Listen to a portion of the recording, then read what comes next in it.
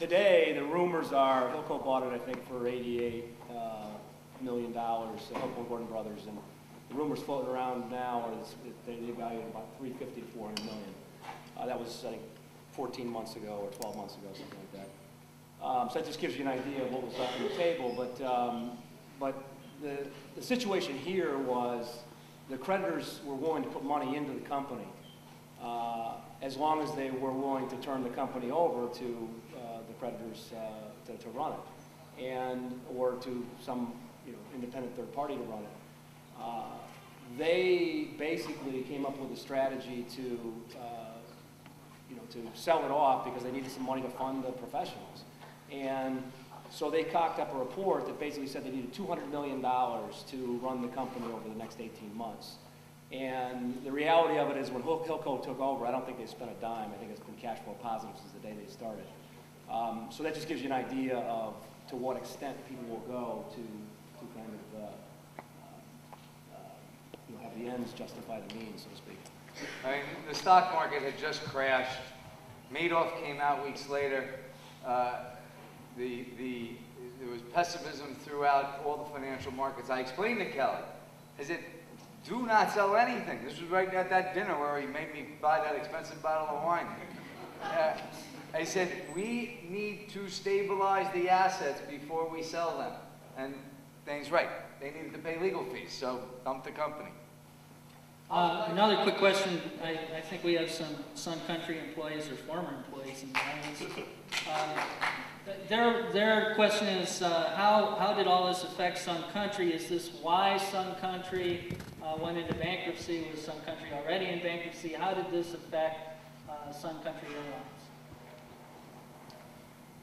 Uh, I reached out for Sun Country uh, when I came back. I, I can't think of the gentleman's name, but uh, Polaroid, and, well, let me rephrase this.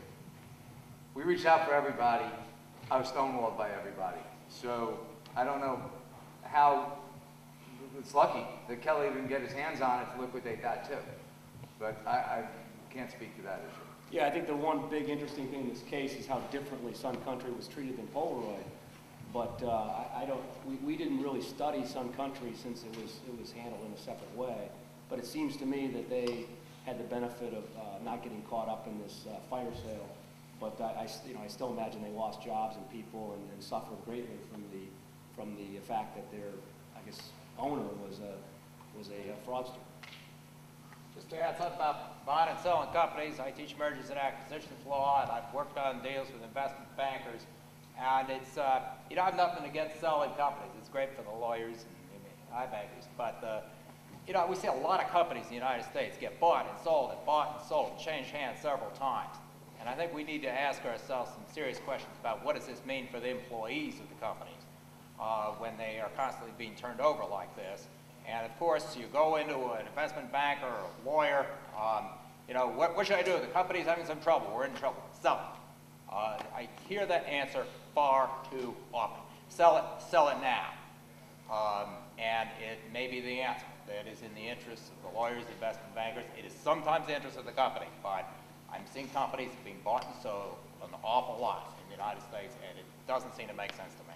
Yeah, I mean, to highlight the financial services, uh, you know, part of their industry, they make a fortune off the uh, purchase and sale of these companies.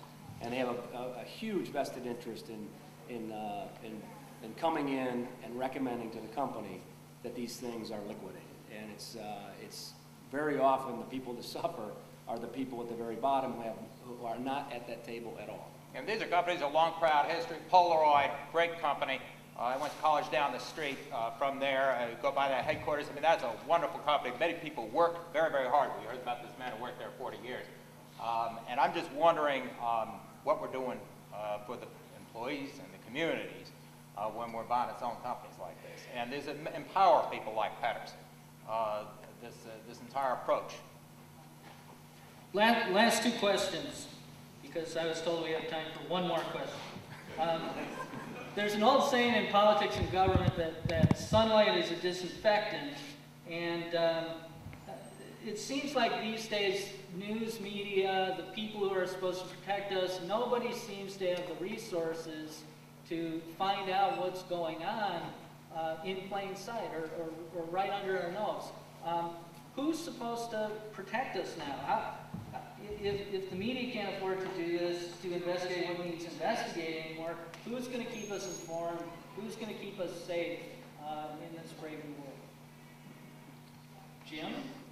Well, that's, that's not, not only a serious question, that's a scary question. Uh, I don't, I don't know For, for the news media, staying solvent is a higher priority than investigative reporting. Or never mind investigative reporting, reporting the news. And so the media keep uh, increasing their prices and degrading the quality of their product, and then they go crying about uh, why they're losing public support. Who will substitute for reporters? I don't know, bloggers won't. Uh, Perhaps fu- uh, privately funded advocacy groups will. But how credible are they if somebody's, you know, somebody's paying the the piper? So uh, I, I wish I could say something cheerier uh, right now. And, and as far as uh, investigative reporting, I don't, I suspect that most of Ryan's reporting and most of my reporting was stuff on the public record. It wasn't gumshoe, you know, it it wasn't second story jobs. It was looking at documents on the public record, which apparently uh, local media aren't interested in. Let me just add uh, that uh, I'm based in Washington. Uh, You can't underestimate the fear factor here. Uh, Dan Rather, just before he lost his job, he gave a talk at the National Press Club, uh, and I don't think he realized what was coming for him, but he gave a talk, and he said the most important factor in newsrooms across the country, particularly in broadcast news, is that you will, is, is fear fear that you will lose your job if you report a story that antagonizes the wrong people. And I'm certainly seeing that uh, in, in my work, and I, I think it's uh, a factor here. I mean, the, the, the paper, uh, the largest paper here, was just coming out of bankruptcy in the same court system. Uh, They're laying off people right and left. It's just much easier to go into the prosecutors, Kelley, get their story. Last week, last quick thing, they had a whole story about a forfeiture deal worked out between Kelley and the U.S. Attorney's Office where he's going to give all his creditors money to the U.S. Attorney. And they quote him extensively about what a great situation it is for the victims. None of these people were quoted. None, no, no victims, no creditors are quoted because it's easier that way. Just go to the public official, the receiver, and ask, are you doing a good job? Oh, you are? Oh, thank you very much. And by the way, that's all over the country now.